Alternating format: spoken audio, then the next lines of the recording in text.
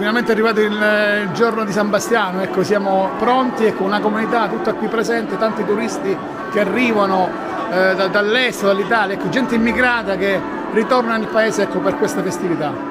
Vabbè, questa è una giornata non solo di fede, è di tradizione, di storia e di, cultu- e di cultura.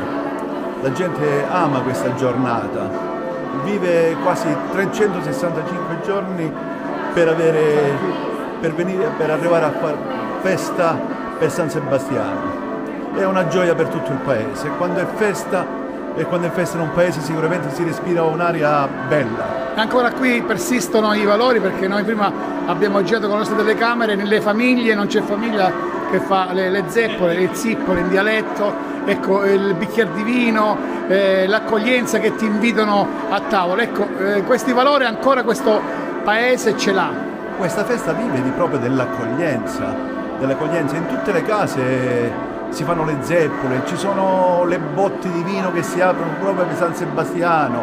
E ancora, ne, ancora dobbiamo aspettare la serata perché stasera sicuramente ci sarà in tutte le famiglie, ci sarà zeppoli, vino e altro per tutti, perché la, è bello vivere, eh, festeggiare ma ah, si ama proprio festeggiare insieme insieme con tutti gli altri, con tutti gli ospiti. Ecco, siamo quasi pronti per la partenza anche quest'anno per venerare San Bastiano. Ecco. Sì, anche quest'anno torniamo insieme come comunità a festeggiare il nostro santo patrono San Sebastiano e quest'anno è una grande gioia perché comunque è la prima volta dopo tre anni che festeggiamo San Sebastiano nella sua chiesa eh, che è stata appunto ristrutturata, quindi adesso è un grande gioiello è una festa importante perché tutto il paese oggi è unito, quindi c'è una grande aggregazione sociale e religiosa, per cui è un momento in cui la comunità si riunisce ed è in festa per il suo santo patrono.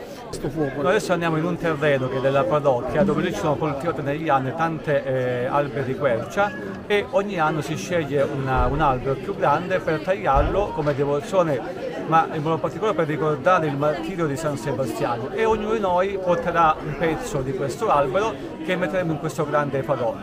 Poi oggi abbiamo anche la gioia per il nostro vescovo Giuseppe che per la prima volta è in mezzo a noi e dopo la Santa Messa sarà benedetto questo grande fuoco a ricordo del martirio di San Sebastiano.